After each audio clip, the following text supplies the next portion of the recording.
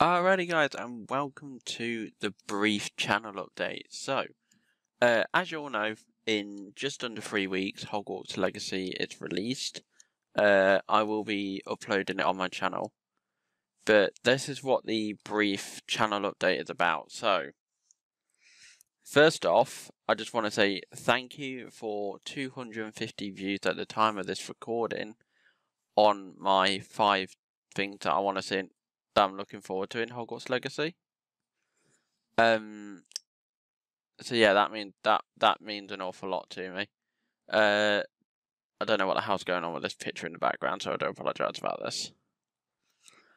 But hey ho, um, yeah. So what I'm going to be doing over the next few weeks is I'm not going to be uploading for the next few days, uh, because I will be mass recording the PlayStation 2 version of the Chamber of Secrets. I'm going to literally just blitz the entire recording session, pre record them, pre edit them, and get them uploading on certain dates, ready for when I've got Hogwarts Legacy to focus on that.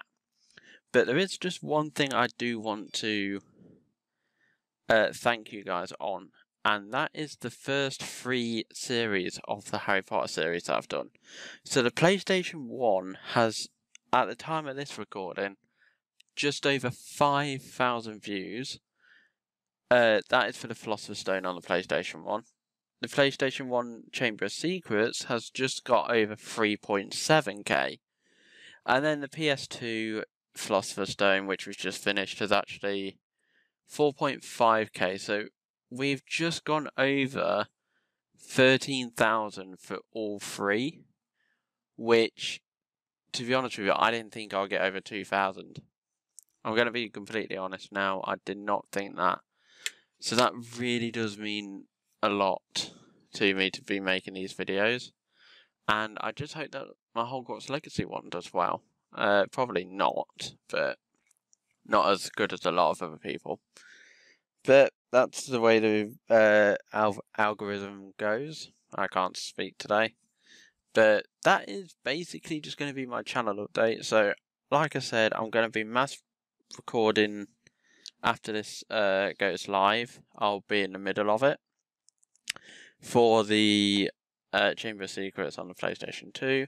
I'm not going for 100% completion, I'm just going through it, getting the House Cup uh, Quidditch Cup and all that. I'm actually looking forward to playing it. So, yeah.